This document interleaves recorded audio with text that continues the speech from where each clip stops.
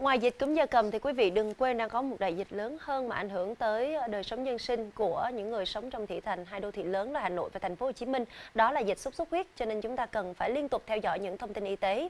Bên cạnh đó thì lúc này dư luận cũng đang hướng sự chú ý tới thành phố Hồ Chí Minh khi mà nơi này đang ghi nhận ca mắc độ mùa khỉ thứ hai và bệnh nhân thì đang được điều trị tại bệnh viện nhiệt đới thành phố Hồ Chí Minh. Vào ngày 21 tháng 10, bác sĩ Lê Mạnh Hùng, phó giám đốc bệnh viện này đã cho biết thông tin mới nhất về tình hình sức khỏe của bệnh nhân trên. Bác sĩ cho biết nữ bệnh nhân 38 tuổi không sốt, không xuất hiện các mụn nước tức là nốt đậu mới. Hiện thì bệnh nhân đang sinh hoạt bình thường, tâm lý ổn định và những mụn nước rải rác trên cơ thể. Bệnh viện sẽ tiếp tục theo dõi những triệu chứng, chăm sóc vùng tổn thương da, đảm bảo chế độ dinh dưỡng cho người bệnh. Đây là ca nhiễm đậu mùa khỉ thứ hai tại Việt Nam, có thời gian ở chung với ca bệnh thứ nhất tại Dubai. Người bệnh thường trú tại tỉnh Tuyên Quang, đi du lịch Dubai trong khoảng thời gian từ ngày 29 tháng 9 đến ngày 18 tháng 10.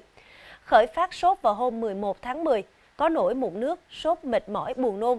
Chuyên gia cho biết ngay sau khi về Việt Nam, ca bệnh đã được cách ly khi về nước nên không có nguy cơ lây lan ra cộng đồng.